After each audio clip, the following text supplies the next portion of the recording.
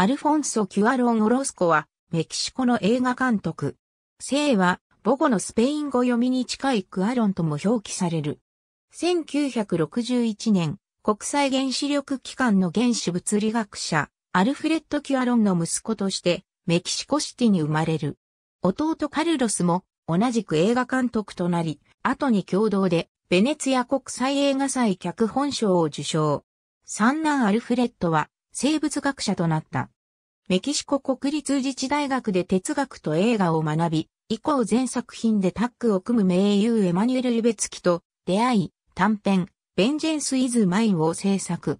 メキシコのテレビ局に入社し、ディレクターとして南米圏の映画に関わる。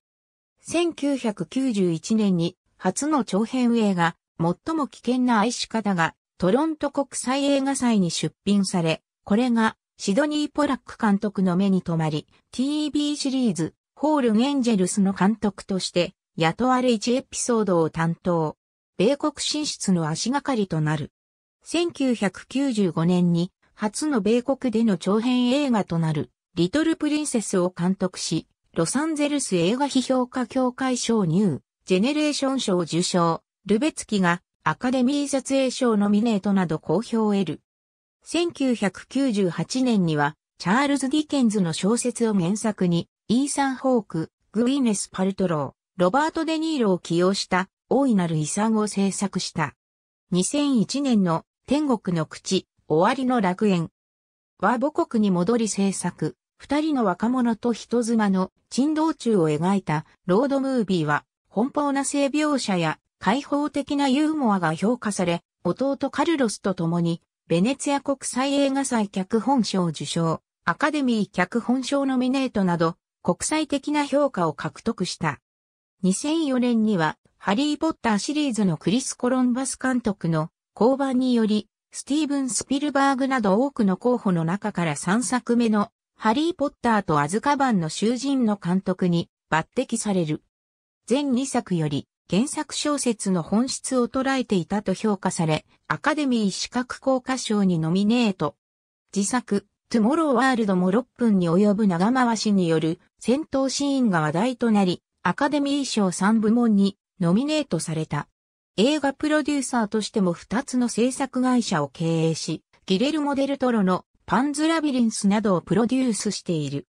2007年には、アレハンドロ・ゴンサレス・イニャリトゥ、デルトロの3人が共同取締役となり、チャチャチャフィルムを立ち上げ、翌年カルロスを監督に起用して、ルドクルシオを制作した。3人は、スリーアミーゴス・オブ・シネマと呼ばれている。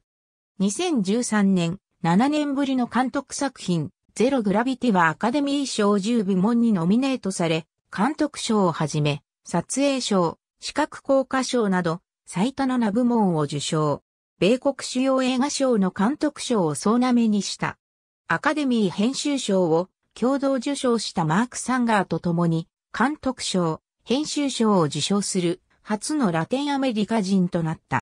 2015年、息子ホナス・キュアロンの監督映画、ノー、エスケープ自由への国境の制作をカルロスと共に務める。また同年の第72回ベネツィア国際映画祭の審査委員長を務めた。2018年、1970年代のメキシコの中流家庭を描いたローマ、ローマでベネツィア国際映画祭の最高賞である金獅子賞を受賞。